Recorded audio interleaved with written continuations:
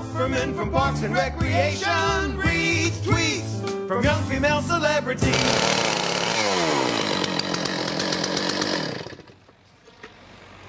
Katy Perry tweeted, I'm not gonna lie, I feel very vulnerable after a nap. Carly Rae Jepsen tweeted, When I sneeze, I sound like Snow White.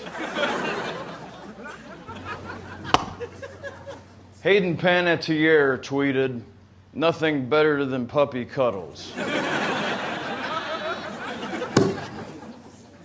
Jennette McCurdy tweeted, Sometimes when I'm bored, I look at pictures of frozen yogurt.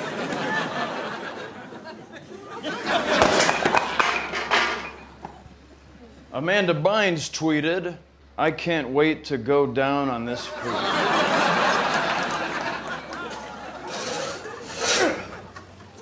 Miley Cyrus tweeted, All my bitches love me, and I love all my bitches. Nick Offerman reads tweets from young female celebrities. He has his passions. Yeah.